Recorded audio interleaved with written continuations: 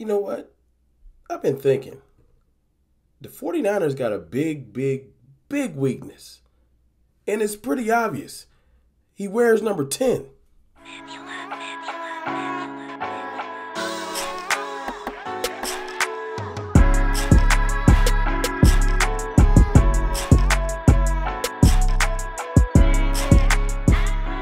What's good, people? It's your boy, Mr. Rome, Cowboys fan talk. Right back like I never left. What's good with y'all, man? Look, Thursday afternoon, off work, thinking about this game, you know, and how we continue to get disrespected. And as the days go by, the media swell growing on how the the the, the 49ers are this unstoppable machine. It's it's hilarious to me. Like they don't have any flaws. Like not one. Anyway, back to reality. Um the 49ers have a big, big, big glaring weakness. And no, I'm not talking about the secondary. I'm talking about Jimmy Garoppolo. Yes, the same Jimmy Garoppolo that prompted them to draft a quarterback and trade multiple future picks to draft said quarterback. Yeah, the one that no one really believes in. You know, the one that the fan base is totally behind right now after the comeback last week against a Rams defense that was trash. A Rams defense that just signed Eric Weddle. The same Eric Weddle that's about to be, I think he's 40. About to be 40, gray in the beard, off the street, and is about to start. That bad Rams secondary. Outside of Jalen Ramsey, they are trash. Yeah, that comeback. It's a little bit being overrated by the media. You know, just to make the Cowboys look bad narrative. Just another one. But it's fine. It's fine. Um, Jimmy G, the same Jimmy G everybody's worried about making throws, the one that they're saying they need to keep his actual attempts down, force the running game, things like that. That Jimmy G, the weakness of the 49ers. See, the Rams forced Jimmy G to go away, um, to throw outside of Ramsey against that bad secondary. And he was able to beat him last week. But more often than not this year, he hasn't been able to beat a lot of people. See, he has what, 20 touchdowns, 12 interceptions? Pedestrian numbers. Very, very pedestrian. See, he has false confidence, false bravado. But one team he is confident confident against is the Rams. The Niners own the Rams. I don't know how many times they've beaten them in a row in the last three or four years, but one thing Jimmy G does do is beat the Rams. And congrats to that. We own our division too. Ownership. You know what I'm saying? So I understand what it looks like when you own a team. And I can see Jimmy G does that. Now let's look at Jimmy G versus everybody else.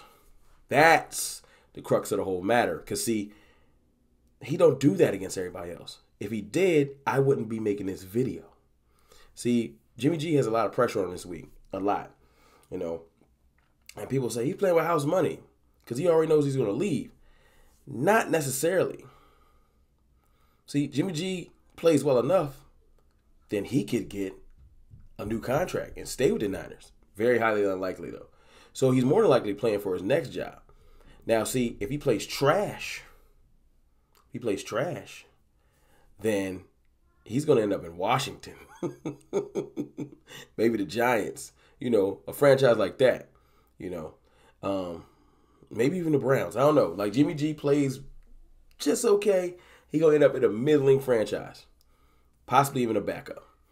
You know, um, but if he plays well, he could stand to end up as a Steeler,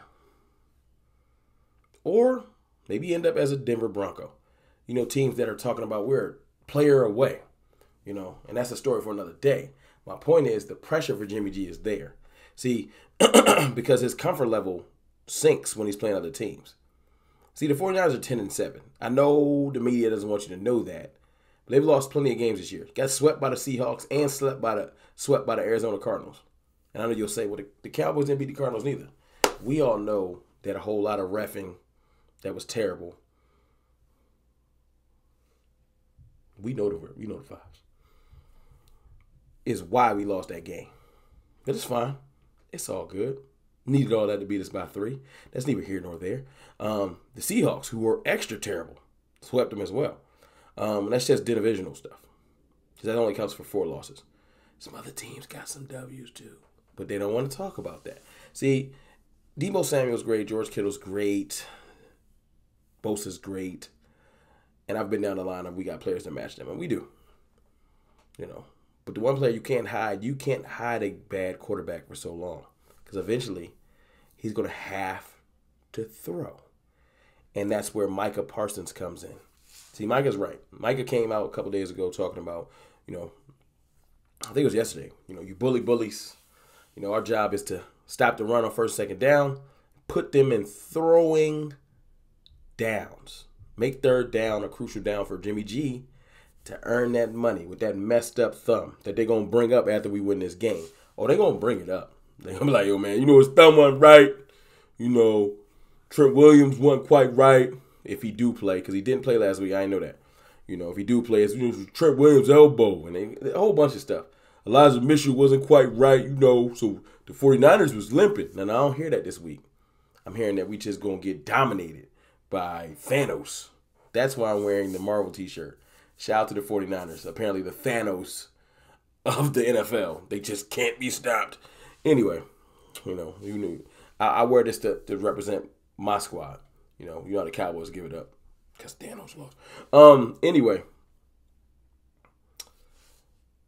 Jimmy Garoppolo being put in those conditions, put in that third down, um, to make, you know, third and seven, third and 10, third and 11, third and 15, those types of throws is important because he's going to give you the ball. He's going to make some mistakes. Don't get it twisted. Don't let his lower interception um, count make you think that he's just careful with the ball. No, he just doesn't throw that much. You know, that's why he's sub 4,000 yards and only only only 20 touchdowns in a year. They don't want him to throw, and that's fine. That's fine. Jimmy G is going to meet the person that a lot of these quarterbacks have met this year, realizing that I didn't know he was that fast. He got up on me way faster than I thought. Micah Parsons, the game wrecker, the game changer, or as he likes to call himself now, the lion backer, which I think is kind of dope. But um, yeah, man, Micah's right. And the 49ers, like I said, whether they want to admit it or not, their biggest weakness is not their secondary. And their secondaries can be had, especially with our receiving corps and our quarterback. No question. They can be had. Great pass rush, though. But that secondary is susceptible. And we to see, you know, y'all keep talking about Deebo Samuel and Brandon Aiyuk like we don't got receiving weapons. Like Cowboys just, I don't know how we became the first team in league in offense. I don't know. It was an accident. You know, all that slumping and we still number one, but it's confusing to me. Anyway, anyway, y'all let me know how y'all feel about what I consider the biggest weakness of Thanos. You know, I guess it's one of the Infinity Stones, the fact that Jimmy G can't throw. But y'all, y'all tell me if I'm wrong or if I'm tripping or if I'm just hating, because I know how I feel. It's your boy, Mr. Ron. Oh, and I think I'm going live twice tonight. Come, come, come find me on my boy Big Game James channel. Um, I think we're going on at about nine Eastern. I think I'm gonna go live myself at around eight Eastern. Um, yeah, I think we're gonna do it that way. Do a little live hour for myself and jump on and do uh, a hour or so with my boy Big Game James. And I think my boy Jay Tuck and Boss Cowboy will be there. Y'all come rock with us though. It's your boy Mr. Ron. I'll holla.